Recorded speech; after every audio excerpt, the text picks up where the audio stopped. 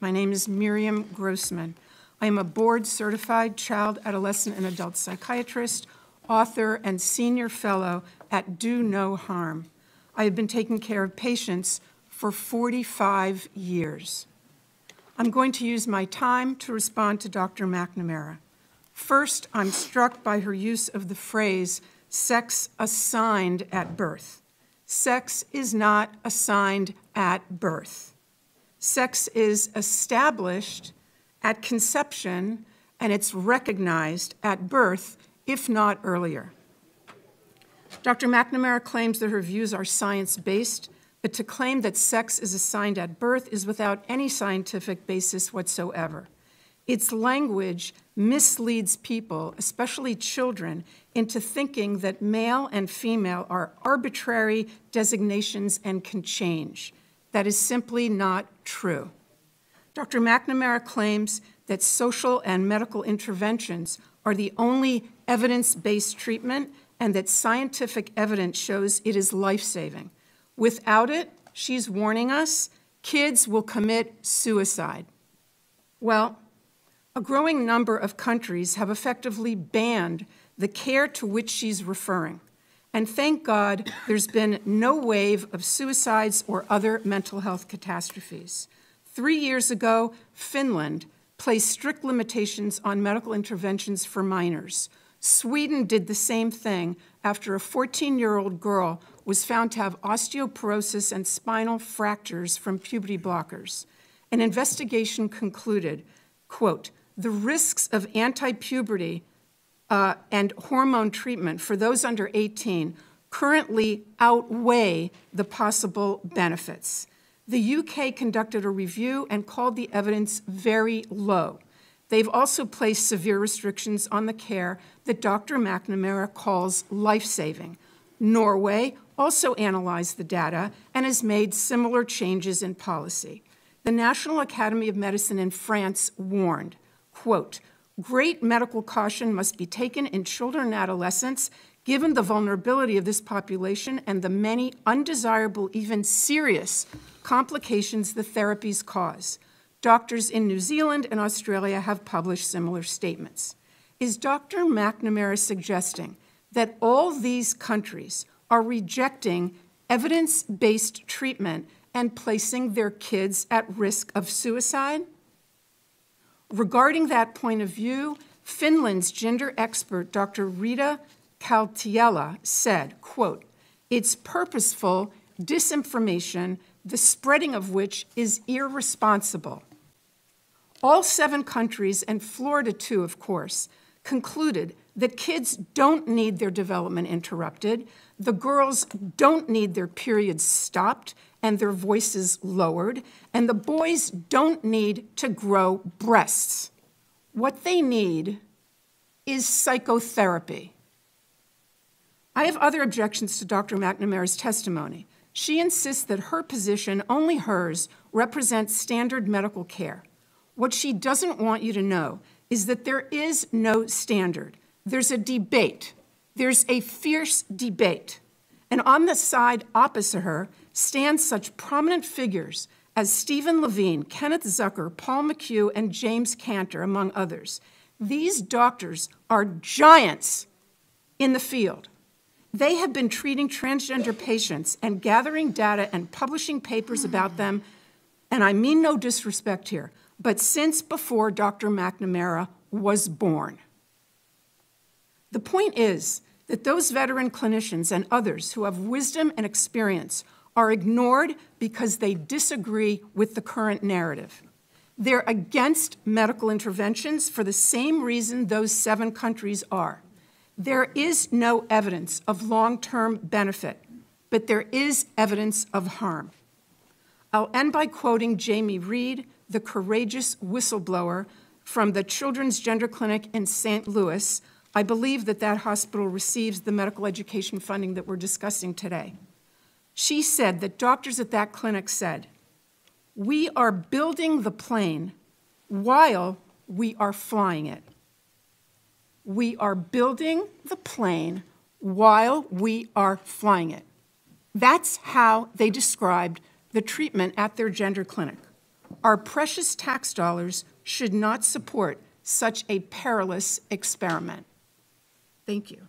Tell me a journal that has done systematic reviews that cites different evidence, that cites strong evidence for benefits of these therapies. The standards of care were developed based on extensive. You're not telling me any journal, you're not telling me any study. Don't say That's not standards what of I'm- care. Yeah. So um, Tell me one.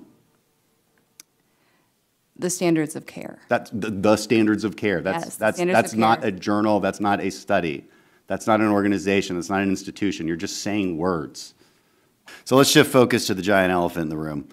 And this is the reauthorization for the Children's Hospital's GME funding. And yes, it's true, this is my bill. And what it does is it it withholds funding from these hospitals if they engage in what they call gender affirmation therapy, um, these physical changes to a child's physiology, permanently disfiguring them through either puberty blockers or even surgical modifications. Now, look, I understand that the other side of the argument here believes they are on the side of compassion, and maybe that's a sincerely held belief. It is just as true that I believe we are on the side of compassion.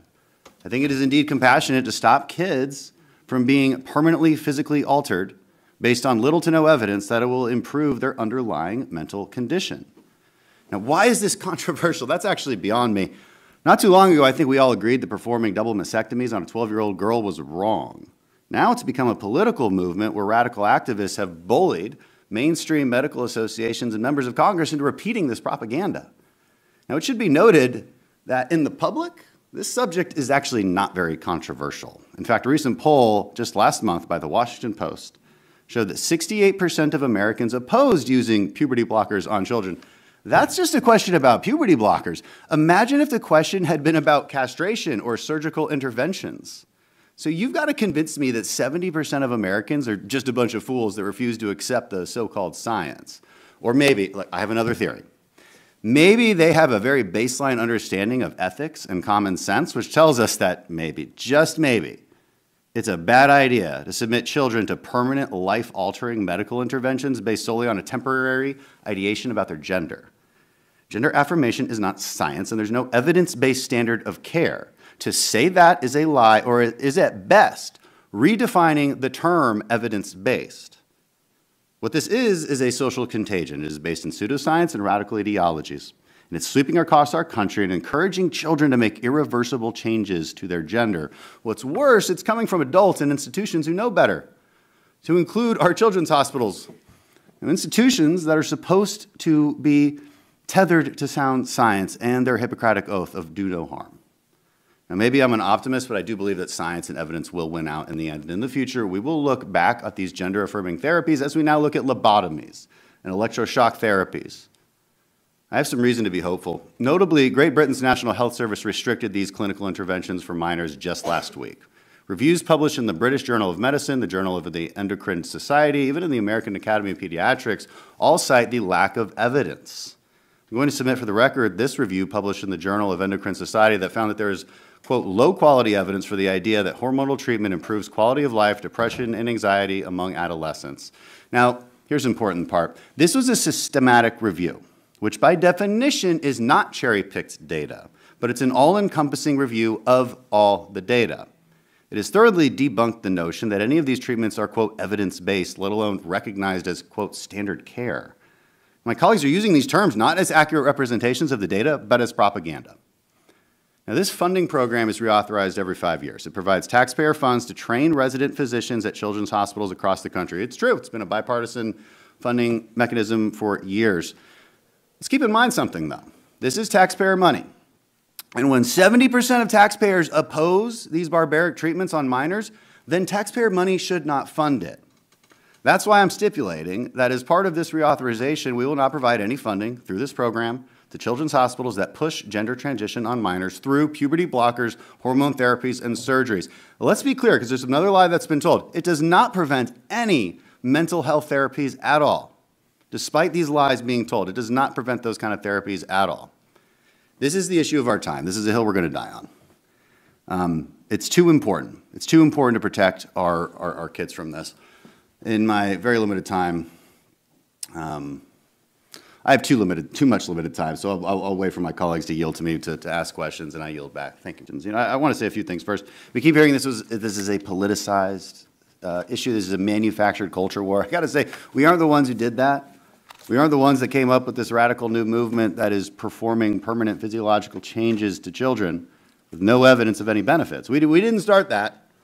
We're just trying to stop it because it's crazy. It's a contentious issue, which almost 70% of Americans oppose. So we are just saying here that taxpayer money shouldn't be used for it. That's all. This should not be that controversial of an issue. Um, uh, questions are for Dr. McNamara. I, I just want to ask you honestly, you're not concerned about the unknown effects of puberty blockers, hormones, and, and surgical interventions in kids, the long-term effects, not concerned about that? Everything I've said here today comes from a place of deep honesty and conviction for the care that I provide and the community that I'm a part of. You've said that we've cherry-picked data. H- h- How do you mean by, what, how do you mean that? So it is very unscientific and flawed to pick a single study or a single statistic and to discuss it in isolation. Um, Totally agree. Medical experts are able to talk about all of the evidence as a whole. Totally agree. So it's good to look at systematic reviews, right? That's the gold standard of evidence when you're trying to understand whether something works or whether it doesn't. So the British Journal of Medicine looked at 61 systematic reviews with the conclusion that, quote, there is great uncertainty about the effects of puberty blockers, cross-sex hormones, and surgeries in young people. The Journal of Endocrine Society came up with the same conclusion, even the American Academy of Pediatrics. They all cite the lack of evidence. And so here's the thing. If you're doing a therapy and it's, you know, temporary, whatever, it- fine, maybe let's try it, let's see if it works. But when you're talking about permanent physiological changes, do you not agree, just from an ethical standpoint, that you might want extremely strong evidence of the benefits? And there is no systematic review that, that states that there is strong evidence of benefits. Sir, are you aware of how the quality evidence grading system works and how it's applied? Yeah, yeah, we've read through it. That's why I'm citing these journals. So which journal says something different? I'm, I'm, we should have that debate. Tell me a journal that has done systematic reviews that cites different evidence, that cites strong evidence for benefits of these therapies. The standards of care were developed based on extensive. You're not telling me any journal, you're not telling me any study. Don't say That's not standards what of care. Yeah. So um, Tell me one. the standards of care. That's the, the standards of care. That's, Yes, that's, that's not care. a journal, that's not a study. That's not an organization, that's not an institution. You're just saying words. Name one study. I'm out of time.